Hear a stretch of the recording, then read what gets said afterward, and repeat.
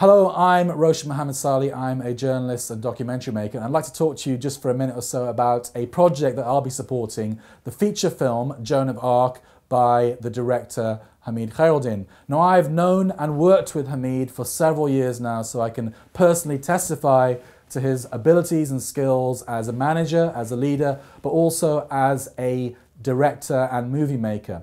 Now, the film Joan of Arc is based on the true story of Bijan Ebrahimi, who was brutally murdered in a racist attack in Bristol in 2013. Now, I myself, as a journalist, have worked on a lot of stories about Islamophobia and racism, so I'm really interested in this area. And I really want this story to be told because it's the kind of story that the mainstream media doesn't focus on.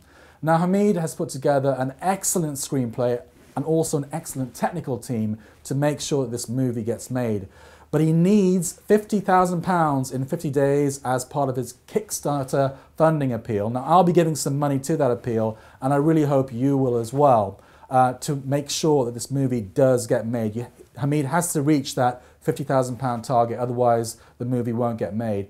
Now, if you want to find out more information about the film, uh, that'll be on the link to the website which will follow this message. Thank you very much.